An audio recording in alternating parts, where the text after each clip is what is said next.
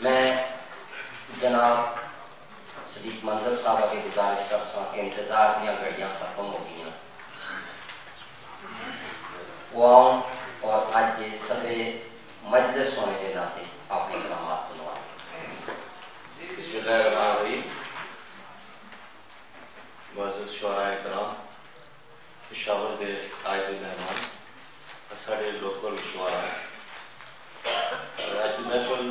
ختم کرنے کے تے دل نہیں آتا ہے۔ کہ ایک آپ کی زبان، آپ کی زبان، آپ کی شاعری، اس سے جو لوگا دا ترنم۔ لیکن بعض اوقات اس طرح ہے کہ سونے کی چھری کو ڈیڈل کے نہیں مارتا تھوڑا وقت کا خیال کرنا پہلے کہ بادشاہ شاہ زفر کا زمانہ بھی بیٹھے رہے تھے، سفر جاتا کہ تھوڑا ساری تربیت اس طرح رہی ہے کہ اسی پشاور ریڈیو جو تو جاتے سن۔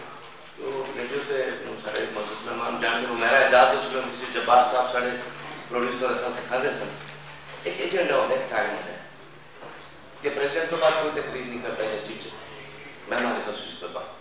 پاکستان کا قومی ترانہ ہو جائے تو اس تو بعد سوال نہیں پیدا ہوگا کسی آدمی کو بلا کے سپیچ کراؤں۔ کافی عرصے تو میں دس پندرہ سالہ کو جی میٹنگس جانا چھوڑ دیتا ہے کہ ہوتے ٹی وی اور میڈیا تے بھی اینکرز بھی نہ گلا کا خیال نہیں کرتے۔ ٹائم تو سارا بڑا قیمتی ہے سارا کا اور شاعرہ کا مطلب ہے کہ شاعرہ کی زندگی سب سے زیادہ قیمتی ہے تو سارا دن رات سوچتے تھے سوسائٹی آستے اور لوگ انٹرٹین کرتے ہیں۔ ہوں وہ زمانہ جو ہے نا کہ تسا ڈھیر سارا وقت چاہیے اتنا اور نہیں۔ کہ میڈیا آ گیا چینلز آ گئے۔ میں کافی دیر تو محسوس کرنا ہے کہ جس لیے کسی کی ایج سخت ہوتے ہو جلتی ہے۔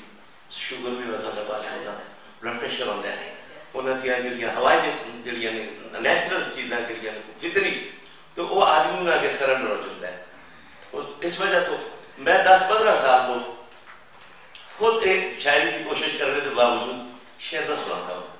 بڑی جلدی آتا کہ یار یہ چیز ختم ہو جائے اور لوگ خوشی نہ اگر پارٹیسپیٹ کی طرح اپنے گھر چلو چلو۔ میں نارا آرٹ ضیاء الدین صاحب تھا۔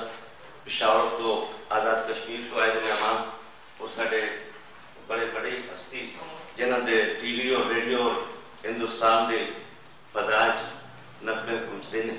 میں تو سارے لوگوں